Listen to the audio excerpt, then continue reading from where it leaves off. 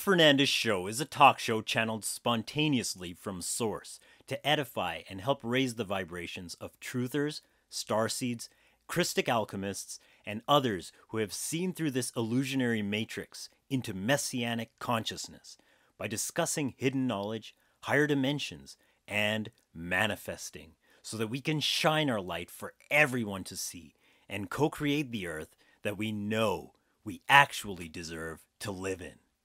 Dope, I gotta go. I'm working on the show.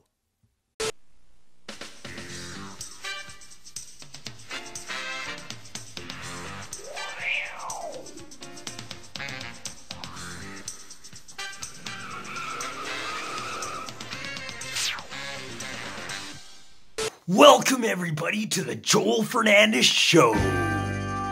I'm Joel Fernandes, and I'm just in the middle of tuning this good old baby of mine.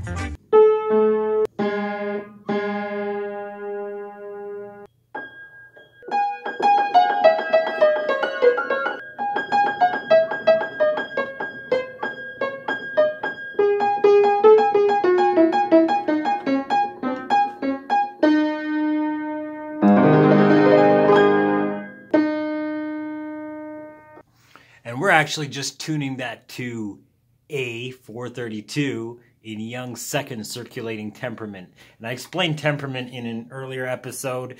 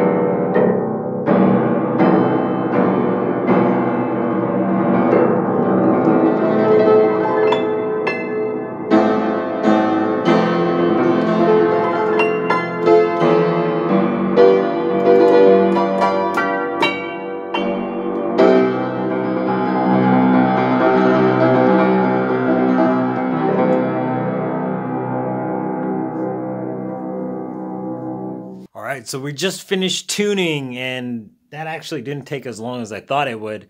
What, it's only been about maybe an hour, hour and a half at the most.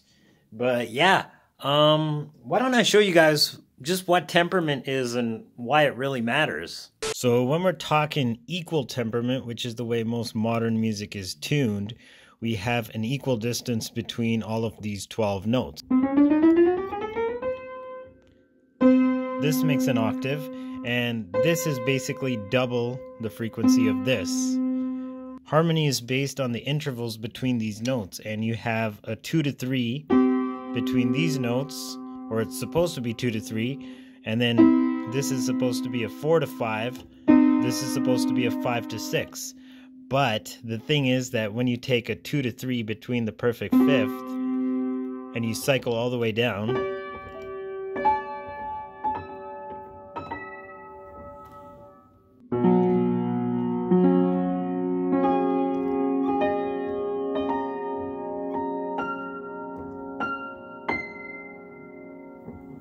if you add all of that up, you actually get a greater number than a double, a perfect double. That is, you could compare the ninth harmonic on one key to the eighth harmonic two keys up, which works fine for the first few keys. But if you do it six times, you'll get to what's supposed to be the original note an octave up, which should have twice the frequency except that our harmonic tuning method multiplied the frequency by a factor of 9 eighths each time, and 9 over 8 to the sixth is not 2.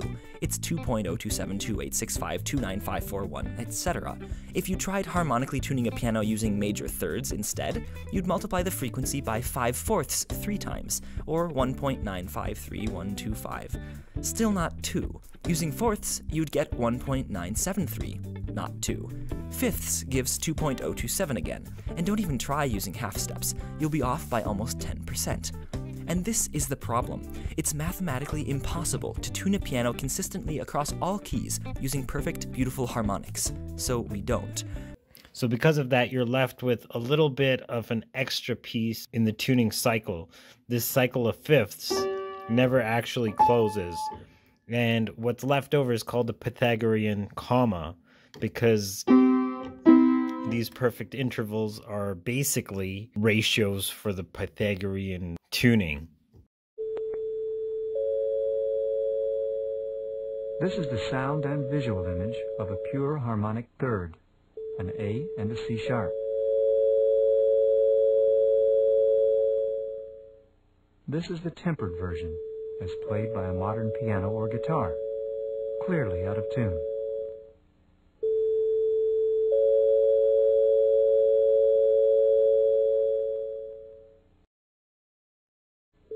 This is the pure harmonic fifth, an A and an E. And the tempered version of a fifth, again, out of tune.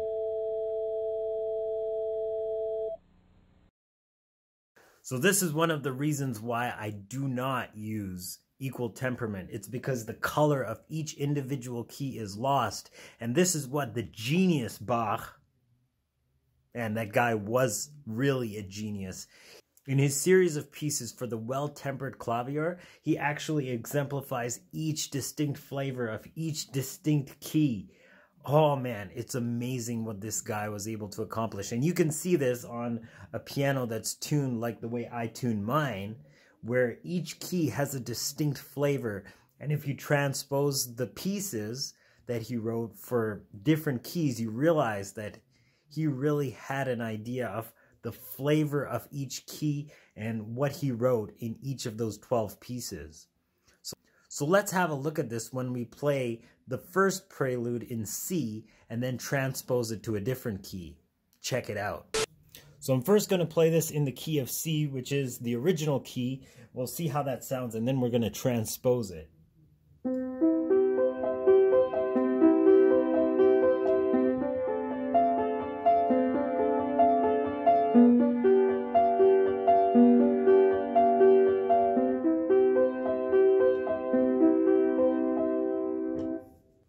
That's the original key of C. Now let's transpose it to the key of F sharp, which is actually one of the brightest keys out of the 12.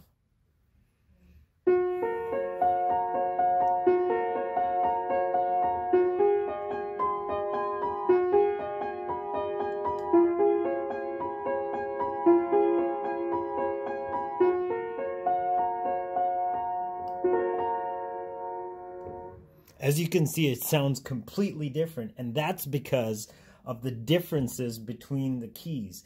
The main difference is the difference between the major third, which is we have the root, which is C, and then the major third, which is E, and that has its own quality. But when we go to F sharp, that major third is a bit wider and it gives a brighter, kind of more joyous feel to it. So that's basically what equal temperament takes away out of music.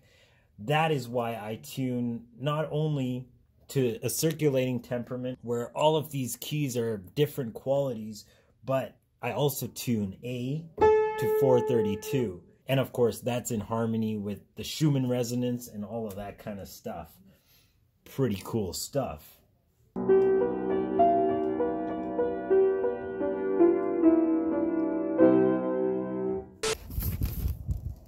And I just had to get rid of some of those boxes that came in because I got a whole bunch of shipments getting ready for the new year, getting ready for new horizons, and really taking this show up to a whole new level.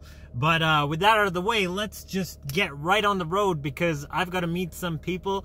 We're doing some musical projects right now, and that's really taken off for me, especially in the last couple weeks. And I'll be sharing some of that as well in this show. But let's just get a move on, show. Yeah, boy. And now the sun's low in the sky, so even the sunshades, man, they don't keep the sunlight out of your eyes. But it's pretty cool, you know, the way the sun and all of that rotates. And technically, it's the firmament, but this is what the calendar is all about, guys. The calendar is all about.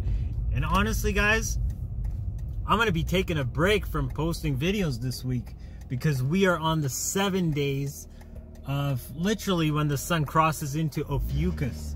And that literally is talking about a reset. That's the serpent bear. And we're actually resetting and regaging where we've been for the last year, reassessing all of our plans and trajectories, and really, you know, cutting the chase. You know, we don't want to be doing what never worked for us in the first place. We actually want to take on new potentials. That's what it's all about. These new potentials and tapping into that kind of space just makes everything completely different. And once you start tapping into the realm of potentials, you start to see just what is potential, really. But guys, don't just look at me for the answers. Like, really, you have the answers. You are the sovereign beings. You literally are the ones capable of stepping into your own destiny. That's what it's all about, anyway. So once you step into your destiny, then everything else will fall into place. Just because I'm doing it, that doesn't mean it's going to just fall into place for you. You got to take those steps. You got to actually reassess, you know, what's been working for you, what hasn't been working for you, where you want to go, what kind of potentials you want to achieve. Really, if you just could snap your fingers right now and be living your best life yet, what would that look like? Take time, analyze the situation, really draft out an imaginal scene where you can actually start to visualize that from the end. Not getting there, from the end. So, for example, if you want like a mansion, right? Just as an example, nothing wrong with that. If you want a mansion, don't imagine yourself like looking at a house and being like, oh, that's really cool. Like, imagine yourself living in it. What would it be like if you had to take out the trash from that house every single week? Imagine that kind of thing. Once you're already in that end, that's when that end will manifest for you. That's how it works. Because you can manifest yourself looking at the classifieds, you can manifest yourself getting all the way up to the end. But as soon as you get to that end, something will shift and boom, it won't line up. So imagine from the end and not the midpoint. And imagine from first person point of view, meaning imagine yourself looking through your own eyes don't imagine yourself as if you're looking at yourself, you know, from a camera, third person perspective. Honestly, scenes can go really wrong if you do that. I know some guy that actually imagined himself in a convertible with this person that he wanted to marry and you know he imagined everything vividly actually did a really good job but what happened in the very end because he imagined it in third person all of a sudden he saw a postcard where she had married somebody else, and that was the image on the postcard. that they were driving down the highway in a convertible, and guess what? He lost, but he manifested that very scene. So you want to do it from first person point of view. And of course, doing it as you're falling asleep makes it super vivid. And once it's in that state and you fall asleep on it, that's pretty much a done deal. Like you can do it during the day, you can do it anytime. I remember when I was still working at the Blue Box down on the prairie, like I used to manifest days when, you know, I didn't want to work, but I would manifest like really good days and a lot of those manifestations came true very very profoundly and I had fun doing it. I had a really good experience even though, you know, I really didn't like that job at all. But you know, you can manifest above and beyond your limitations and during the day whenever whenever. That's the key. You got to be constantly doing this constantly plugging away and constantly knowing that it's in your power to do so. You are the sovereign being. And because you're the sovereign being you can imagine whatever you want. Whatever you want. Literally whatever you want so don't take it for granted guys do not take it for granted. Know that you're sovereign. Know that you've got this. And like I said, if you could snap your fingers right now and be living your dream, what would that look like? Take time and do some imaginal scene. Just a couple lines, maybe talking to somebody, maybe them congratulating you on your scenario. And that literally is how to do this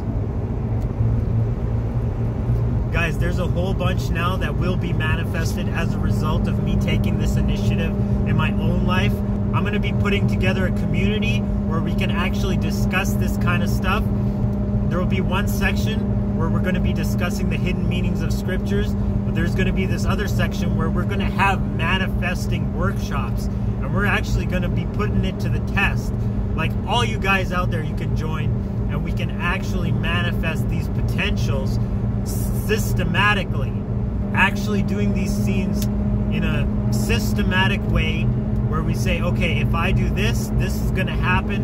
Where, like, we can literally work on this together, guys. If you have problems, like, I can help you draft a scene. All of this stuff, man, we are going to take this to the next level, and this is coming in the new year. So stay tuned for that. After Monday this week, I'm not going to post for at least a week we'll see how that goes because I wanted to take this whole week off and really do some reassessment. But because of what's going on, like I'm super busy and I still got stuff to do this week. I still got stuff to do. So as that's all playing out, we're just gonna manifest through it and literally take it to the next level. Literally take it to the next level. Nothing is holding this momentum back. And it's begun, guys. It's already, I mean, if it begun long past last year, but it's already underway, guys. Get ready to really step up in your fullest potential. That's what we're here to do. That's what us light workers are here to do. We're here to actually bring our fullest potential into fruition so that not only we can experience it, but the world around us can. We are birthing that utopia, that fullest nature of what we've come here to be. And because of that, we literally have the potential to manifest above and beyond our wildest dreams. Whatever that looks like. You start with your wildest dreams. You start with the potentials that you really want to achieve. But once you start realizing that, you realize that there's way more. There's way more. And it just keeps on going because the universe is infinite. Source doesn't stop. Source is abundant. Source doesn't want to humiliate you and make you live in lack and poverty. That's not what shalom is. And it's funny that churchianity wants you to live in poverty. It's funny that churchianity wants you to be all mediocre and broken and, oh, you know, I have to be subdued so that my humility comes in place so that I know, like, I'm not in charge. Well, actually, awareness is in charge, and because you are aware, you have that same power flowing within you. Until you realize it, Otherwise, it's just going to go on autopilot and literally cycle out of control because your autopilot is being fed by the physical circumstances rather than the internal potentials. When you tap into those imaginal scenes, when you take time and literally work to manifest those potentials as real in your awareness.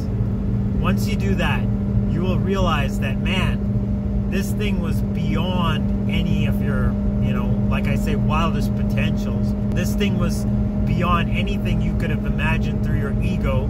Anything like, for example, the mansion again. You want a mansion because you've seen other mansions, but do you really know the potential of a mansion that Source has for you?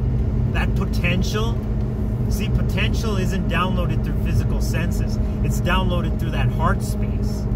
Physical senses can see, oh yeah, you know, that's a nice house, that's a nice car, you know, that's a nice piece of property, whatever it is. But beyond that, we can't actually imagine beyond that unless we tap into our heart space because everything else is limited by what we've seen, what we've downloaded, the data bank that our brains have actually harnessed through physical experience.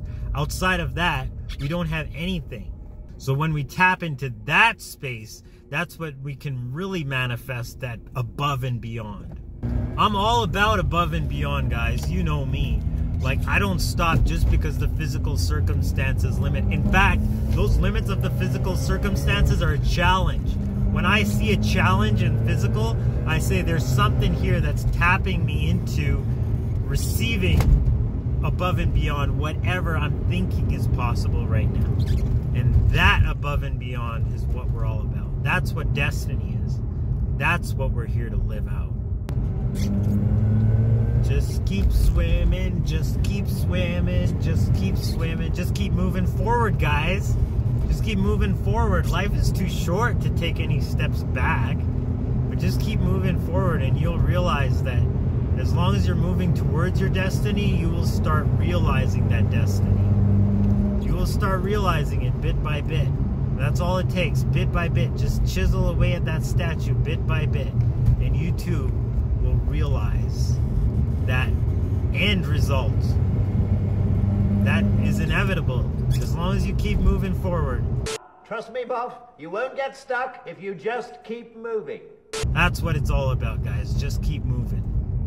Just keep moving. Just keep moving. And even if you're stuck at a red light, guys, just because it seems like you're at a hiatus and nothing's moving, don't be dismayed. As long as you're making that incentive to move forward as who you've come here to be, as long as you're moving forward in that, even if it seems like you're caught on the red light, guys, you might just be like seconds off the highway, just waiting at the exit ramp to get on the highway.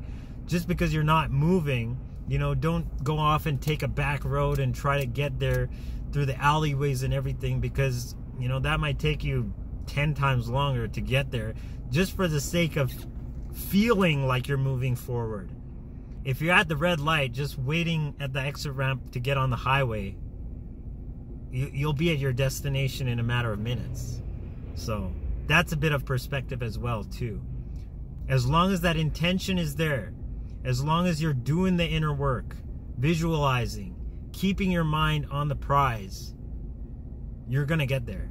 You're going to get there. Don't take a step back. And the worst seed that you can sow to cut out that harvest is seeds of doubt, seeds of unbelief, seeds of lack, when you fall into lack, you actually have to manifest that state of being. You have to manifest that kind of harvest where you're at lack. Just know that you're on the highway, guys. You're on the highway. Before you know it, you'll just be like cruising in sixth gear. 88. Look at that, guys. 88. Whoa. We must have time traveled or something.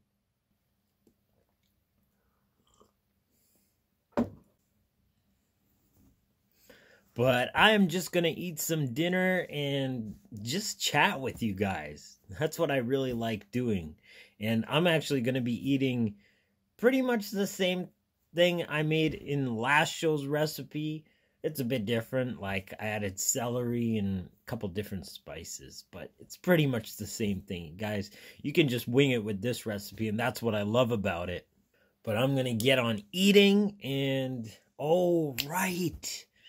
I have to transpose some music. So I'll be doing that as I eat. Yeah, I have to transpose joy to the world and O come all ye faithful. So yeah, guys, this is MuseScore, and this is where I'm going to be inputting all the information for the music. And we're just going to speed lapse this thing through. Let's get this microphone pop filter out of the way. And uh, let's get right on it, shall we? I am going to watch The 11th Hour. So yeah, guys, this is MuseScore. And it's just like a note typesetting software it does a whole bunch of other stuff too, like output MIDIs, and you can have some real fun with it. You know, experiment with chords without, I guess, being able to play an instrument. But it is kind of tedious putting in the notes like this, but you know, it's good practice for when I gotta put in all the notes for an orchestral arrangement, for example, which I will be sharing in the future guys, so much has been coming through. So much creativity. Like these videos, the reasoning sessions, the downloads, all of that is but a fraction. Really, the connecting with other people, starting movements, organizations, communities. And now there's going to be our community, which is going to be starting up in the new year.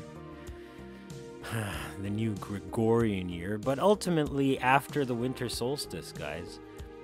Uh, in this next phase, which is literally the 10th year since the initial download. I can't believe it's been that long.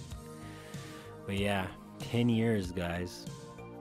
There's nothing new. This is literally the transition of the ages. That literally is what it is. That literally is what it is. So it's amazing. It's amazing. And we're all part of this, you know? We all came here for this specific time. And it's funny when you meet people that are on the same mission as you, you automatically know it. You remember the very first time you met them, and it just sticks with you. There's something different, you know? I'm almost of the theory that, you know, there's us that are awake, that are actually these light workers, star seeds, whatever you want to call it, and then everybody else is an NPC. It's literally just generated by the matrix. The experience is just generated by the matrix. And ultimately, that's why manifesting works. That's why we have power as manifestors. Otherwise, it wouldn't work. If we weren't awareness, and awareness is a creator or like the projector of physical reality through the film strip, which is our state of being, and then the projection on the wall is the experience of physicality. If that wasn't the case, we would have no control in manifesting. But I manifested typesetting this music, and here's the arrangement.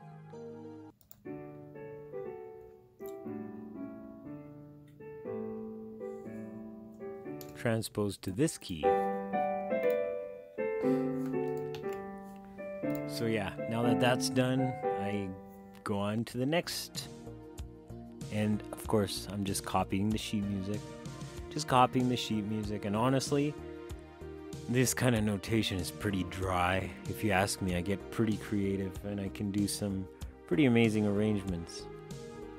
But this is just for the sake of transposing the notation.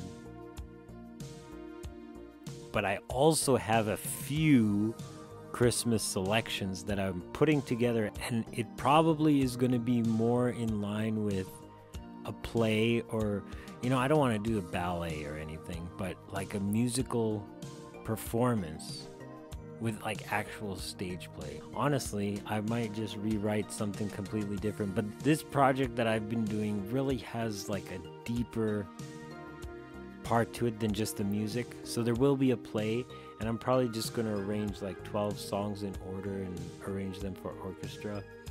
But we'll see how that goes. I'm, that's obviously not going to be ready for this solstice, but no matter. We just keep on moving forward, guys. Just keep on moving forward. There's no point not moving forward. There's no point doing something else that will slow you down. Really, think about it. This is destiny we're talking about. Ultimate destiny. So don't quit on your dreams. Don't quit on all those visions, all those downloads that you've had. Because ultimately, you're here to realize those. You're here to actually embody and experience those. Why wouldn't you? Why wouldn't you? That's what it's all about. And that's what they don't want you to do. And that's why you have to go to school for 12 plus years. And that's why they give you religious institution doctrine, dogma that doesn't empower.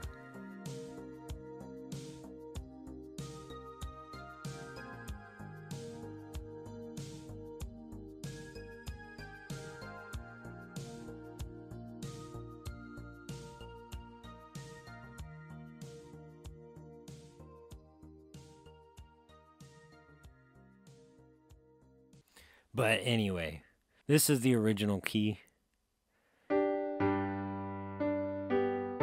And it's transposed to this, which honestly, guys, sounds pretty dry.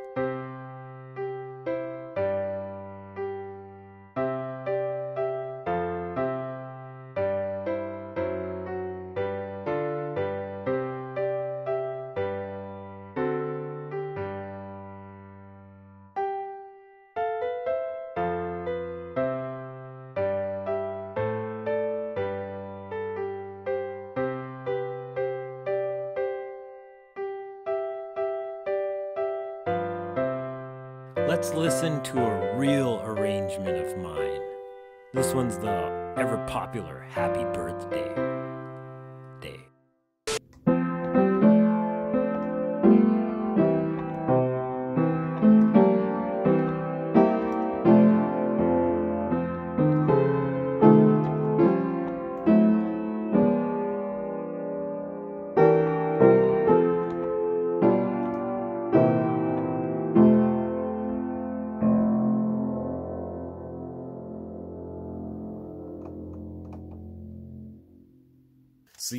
that's that guys. Like I have been pretty busy with a whole bunch of other projects.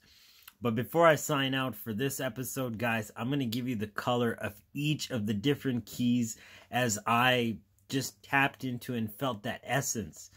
And these are going to be in order from brightest to dullest. So first we have the brightest key, and I mean the brightest key, which is C sharp. And C sharp major relates to breakthrough and elation. And then after that, we have A flat major or G sharp major, which is announcing the entourage of a royal dignitary. Like I said, these all downloaded to me in visual form as well as the feeling, and each key has a distinct flavor and it, it's just like something you can't unhear once you hear it you know? It's like you know red is red once red is red. Anyway moving on. After g sharp we have f sharp. And f sharp is like floating on high clouds. Just like floating on high clouds. It's actually a really amazing key. But then right after that we have two keys that are tied on that level where there one is not more bright than the other. And these are the keys of B and B flat. So B has the feeling of a relief, like a tropical breeze. And B flat, or A sharp, is the feeling that you've won. You know, not like a game show, but literally the simulation. It's like the heavenly graduation or like welcome home kind of funny talking about this, but this is just the way I see it, you know. And then we have E flat major, which represents home, peace, tranquility, harmony, balance, basically shalom. Yeah.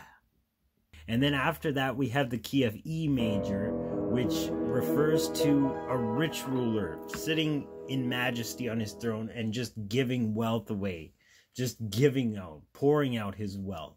And then after that, we have F major, which just kind of represents a tranquility that's not calming. It's just almost like a nothingness in a sea of infinite waters. And then we have A major, which represents a sentinel standing along the night shores of the ocean, moonlit. Pretty imagery. Pretty cool imagery, huh? And then after that, we have D, which feels like water fountains. D major, like a life source on a summer day, just kind of like that steady fountain. And then after that, going down the scale to the dullest of the major scales, we have C major, which is even more empty feeling than F major, but it's very grounding. It just brings you back to that energy. And G major, the last one, has the smallest distance between the major third. And that just feels like a relief, kind of like a resurfacing when, you know, like the sun breaks through the clouds or the first dawn. It's kind of like that. Very peaceful, but very calm and just not overly exciting or jubilant. And after that, we get into the minor triads. So even these go from a bright flavor for a minor scale to an even deeper, darker, sinister flavor. And the brightest is B minor. B minor is like the feeling of getting stormy or clouds gathering. Then moving down, we have E minor, which is like that rich ruler of E major, but he's being tormented at the night by evil spirits and no one's there to help him because no one can relate to him. Then after that, we have A minor, which is kind of like underwater torrents. You know, it's really dark. And then we have F sharp minor, which has the feeling of being escorted by good angels, protecting angels through the abyss. Then you have two keys that are tied at the next level, which is C sharp minor and B flat minor. So C sharp minor has that feeling of realizing a major game changer. And then B flat minor has that feeling of betrayal of love. Then we move on to D minor, which is a villain among the guild. Right among your own people, there's this villain, your most trusted people, right? Then after that, we have G minor, which is kind of like a, oh, what's that? Like a startling behind you in a dark alley. And then we have G sharp minor, which is, you know, the revealing of a great antagonist in a regal evil hall. kind of dramatic, but anyway. After that, we have E flat minor, which is like navigating a dark forest. Then we have C minor, which is drifting helplessly, aimlessly on a cloud swept by the wind. And finally, F minor, which has the feeling of just emptiness of voice, kind of like non existence. I don't know. That's what I see when I hear these different keys. So I just thought I'd share that, guys. I hope you enjoyed that. This has been a bit of a different Joel Fernandes show, but then again, aren't they all? That's just the way I see it. Guys, there's so much more to reality when we tap into that right hemisphere of our brain. We really start to manifest things from a intuitive causal perspective. And it's just amazing. It's just amazing. And moving forward, guys, there is great potentials that's just unfolding like you wouldn't believe. So stay tuned. Join the community when it starts up because there's going to be some awesome stuff going on. Yeah, literally manifesting Earth 2.0. Good things are coming. Good thing. So, that being said, guys, have an amazing solstice. I won't be posting reasoning sessions for the next week at least because I am regaging and reassessing a whole bunch of things stepping it up. You know, we're entering a new level and We've got to conquer those new devils. But we got this. We got this. Ain't nothing the blood of Christ can't handle. But with that being said, guys, I'm going to sign out here. Stay well and seize that shalom. Really seize your blessings because it's your birthright. That's what we're here to do. We're here to manifest our best lives yet. So, with that being said, I'm going to sign out here. I'll check you in the future, in your future, in your destiny, living life 100%. Agape, salam, namaste, Khatep.